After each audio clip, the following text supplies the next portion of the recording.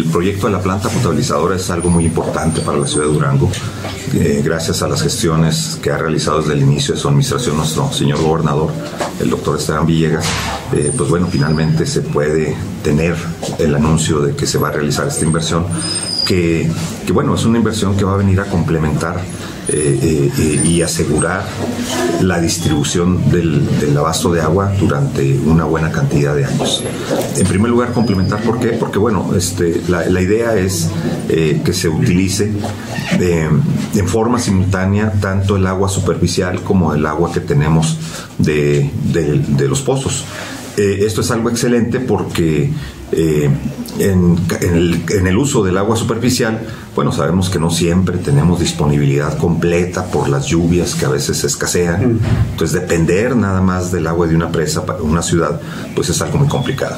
Pero también depender únicamente del agua de los pozos, pues es algo complicado, es algo complejo, eh, es en función de que pues, se va dando el abatimiento de los mantos freáticos, tal como es el caso del, del Valle del Guadiana, el, acuífero del Valle del Guadiana, que bueno, tiene un importante abatimiento. Entonces, el, tener esa posibilidad de, de hacer una eh, distribución basada en dos fuentes distintas de aprovisionamiento, pues es algo excelente, es algo excelente porque permite hacer una planeación adecuada y garantiza que tengamos agua suficiente en cantidad y calidad.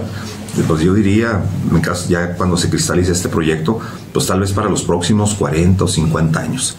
Algo sumamente notable.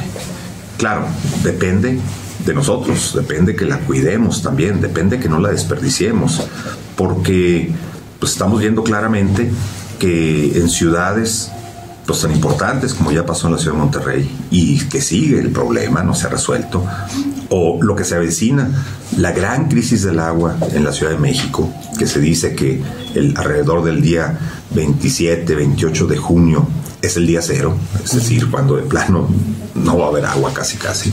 Pues digo, ante esas situaciones críticas, nosotros depende que seamos de las pocas ciudades competitivas, incluso en materia de atracción para la inversión, en función de que sí vamos a tener agua.